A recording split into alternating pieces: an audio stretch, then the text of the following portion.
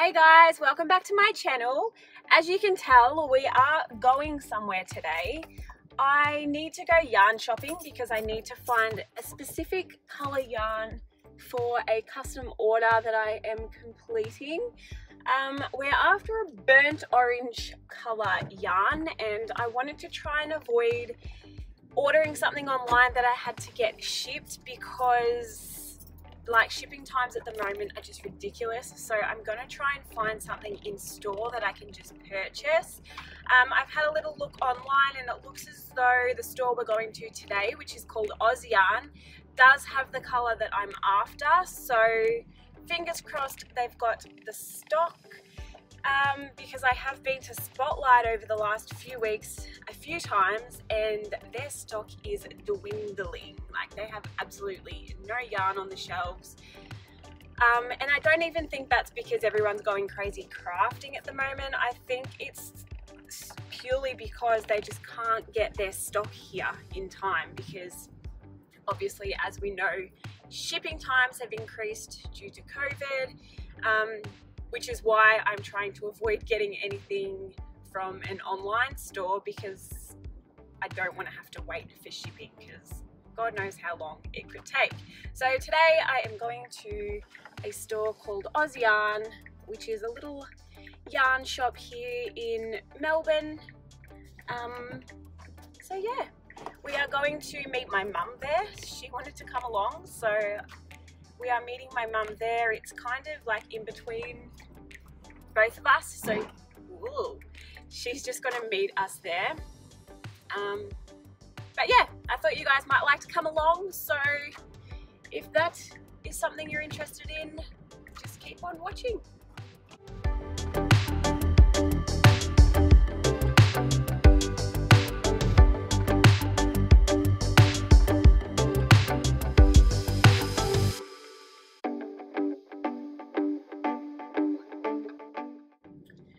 Have reached our destination.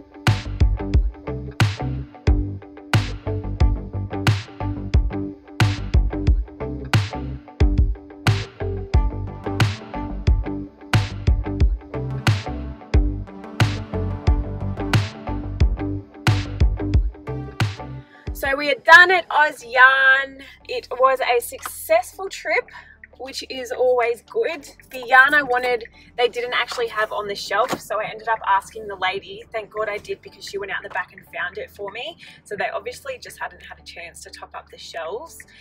Um, which was amazing. So I got what I wanted and now I am going to head to Spotlight because I also need to get um, another type of yarn from Spotlight that is for another custom order. So I don't usually do custom orders, but because of ISO and everything, I've had a bit of extra time on my hands, so I thought, you know what, why not? It's like it's basically just for friends and family, so I thought, why not make a few things? But I'm like have hardly hardly had any time to work on these projects because I've been so busy with my YouTube videos. But um, yeah, I've had a bit of time this weekend, which is good because weekends are my days off from YouTube and I don't upload on weekends. So anyway, we are headed to Spotlight to try and find some USA Spot Saver yarn in the color pumpkin, which is my absolute favorite.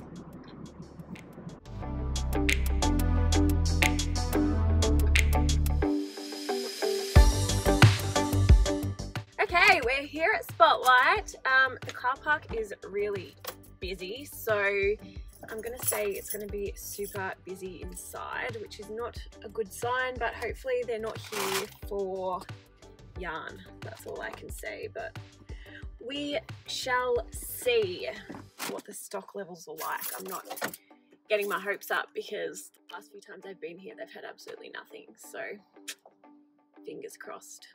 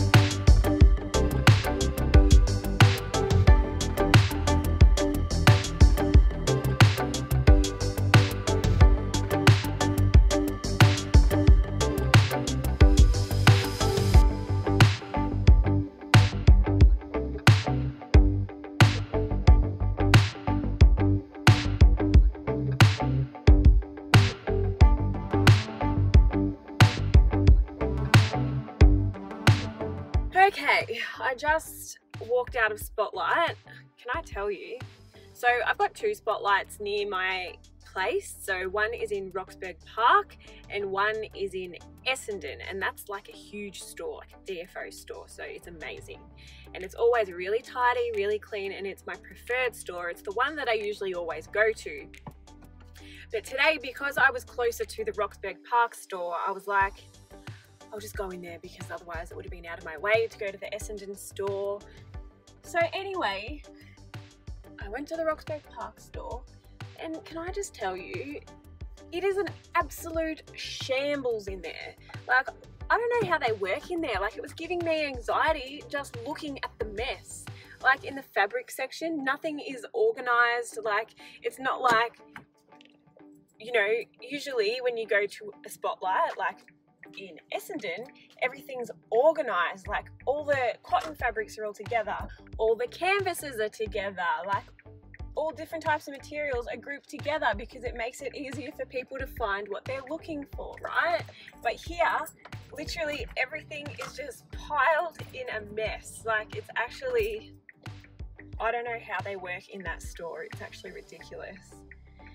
But anyway, on a lighter note, they had the yarn that I wanted, thank God. And I also picked up um, a little bit of fabric that I think I might use as a backdrop for filming videos. I've been just filming videos in my lounge room up until now, but I thought I would kind of make a DIY photo slash video backdrop.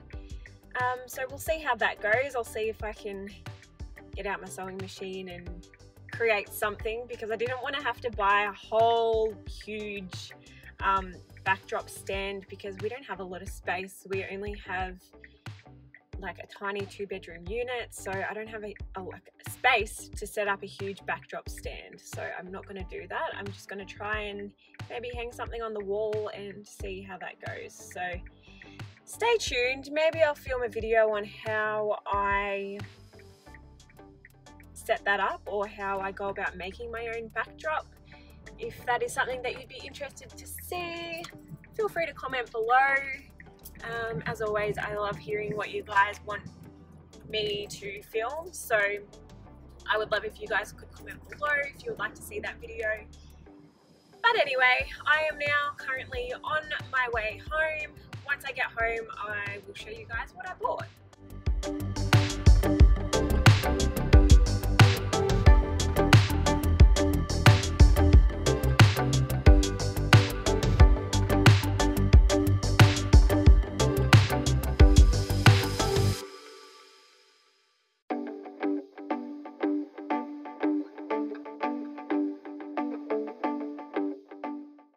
Okay, so I am home, but before I go inside, because John's home and I hate filming when he's home just because he's so noisy and I don't know, I just feel awkward filming in front of him. So anyway, I am going to show you what I got. So first of all, we went to Oz Yarn where I was looking for a specific colored yarn, which I found on their website. And they didn't actually have it on the shelf, but when I asked the lady, she went out the back and found some for me, which was absolutely amazing. Their customer service at Oz Yarn, I must say, is absolutely amazing. Like I've only ever had positive experiences with their customer service. Once, um, one of the girls even delivered yarn to my door because it was at the other store and to save me paying for shipping or whatever, she's like, I'll just drop it off at your house. And I was like, what do you mean? Anyway, so I went and bought this pack of yarn. This is, sorry about the noise. Let me open it up and I will show you what it looks like. So this is what I wanted. It's an 8 ply 100% acrylic yarn. As you can see, the color is absolutely stunning. It's called Paprika. It's like a burnt reddy orangey color which I absolutely love. I got a custom order for something in this color so that's why I wanted this color in particular and it was the only place I could find something that was a really really close match to the photo that my customer had sent me so I'm gonna give this a go. I have not used it before but it feels like fairly decent quality um, and I have heard good things about it so we'll see how it goes. That's the Needles 8 ply 100% acrylic yarn from Oz Yarn. Next up, we of course went past the ridiculously chaotic spotlight in Roxburgh Park. Um, again, I needed to get a specific yarn for a custom order, which is this um, Spot Saver USA style in the color Pumpkin. It's my absolute favorite yarn at the moment. I'm absolutely obsessed with this color and I love the quality of this yarn. If you are in Australia and you're looking for a good quality 10 ply slash Aran weight yarn, which is really hard to find in Australia. A lot of our yarns are just 8 ply, so it is really hard for us to find 10 ply or Aran weight or worsted weight yarn in Australia, but this is absolutely amazing. I love it so much. It's really nice and soft. It's nice to work with. It is 100% acrylic, but it's great quality.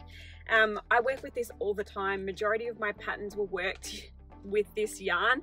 So yeah, I can only ever say great things about this yarn. I absolutely love it. Last but not least, I mentioned before that I went and got some fabric from the like I can't even describe to you how messy the fabric section was at this store but anyway I managed to rummage through the piles and piles of fabric and I found this which is like a pre-cut fabric it's Cost $15 for two meters, which is pretty cheap, like especially for a fabric like this. It's quite a thick um, woven fabric. So I'm hoping it will be perfect for video slash photography backdrops because number one, it is in my brand colors, which is perfect. And number two, because it is a woven thick fabric, I'm hoping it doesn't crease too easily. So I'll be able to hang it up and it will stay nice and flat um, and non-crinkled. But we'll see how we go. As I mentioned before, I may make a video on how I do my backdrop. If that's something that you guys are interested in, comment below. Let me know if you would like me to make a video like that. Um, but yeah, that is the final thing that I purchased today, just some fabric for a backdrop. Well, thanks for coming along, guys. I really appreciate you watching. If you've made it this far, well done. Um, if you did enjoy this video, please don't forget to give me a thumbs up and make sure you subscribe to my channel. Turn on those notifications so you are notified of my future videos. Again, as I've said many times throughout this video, if you do have any content suggestions, please leave me a comment down below. I love hearing your thoughts.